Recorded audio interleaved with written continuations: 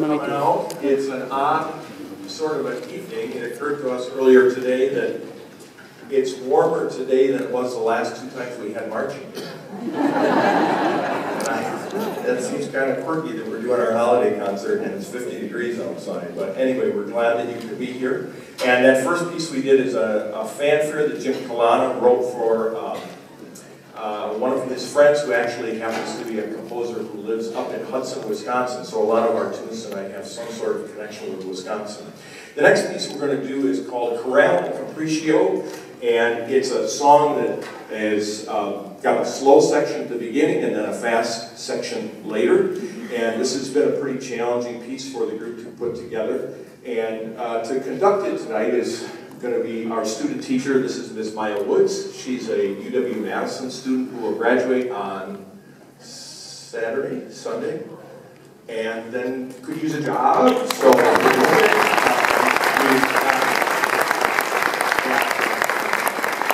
Maya is a Sturgeon Bay native, and she's an oboe player, and uh, we're thrilled to have her here. So she'll conduct Chorale and Capriccio.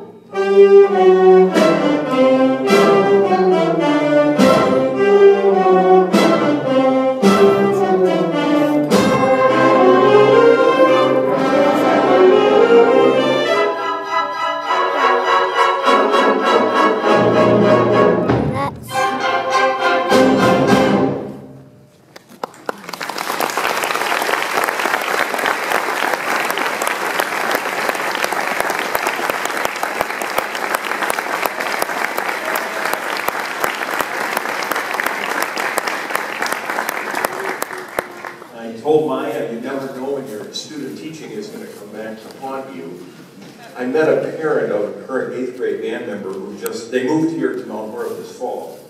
And I met her a couple weeks ago. She said, who are you? And I said, well, I'm the band director of the high school. She said, you look very familiar. And we pieced it out that in fall of 1983, when I student taught at McFarland, she was in sixth grade band. so sometimes you can't get away from your band. 1983, just like yesterday. Um, well, we're going to play a piece, Winter Wonderland, that you probably know, but my guess is you've never heard the original recording. And I had to write this group down because I don't know this group. It was recorded in 1934 by Richard Himber and the Hotel Ritz-Carlton Orchestra in New York. And I haven't ever heard of them. And they recorded it on Bluebird Records. Um, but it's been recorded by more than 200 artists. So here is Winter Wonderland.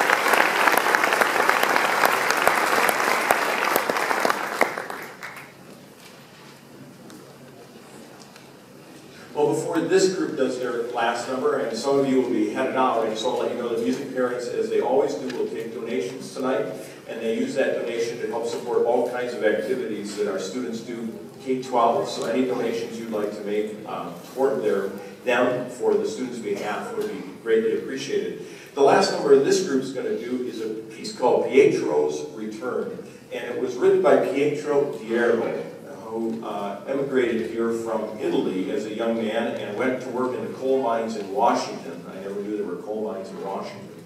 But he learned to play the accordion, and he became the greatest accordionist of the first half of the 20th century. And he became one of the most recorded musicians in the world, uh, mainly for Victor Records back in the early 20s and 30s. And so one of the pieces he wrote was this Pietro's Return. And uh, a gentleman by the name of Larry Daehn, a few of you might know Larry Daehn. Larry lives down in New Glarus, and he uh, was a long, long serving band director at Glarus High School. And Larry also has his own publishing house, he publishes music that's played literally all over the world. And Larry took that Pietro's Return and scored it for concert band, and so we're going to end our this portion of the concert with Pietro's Return.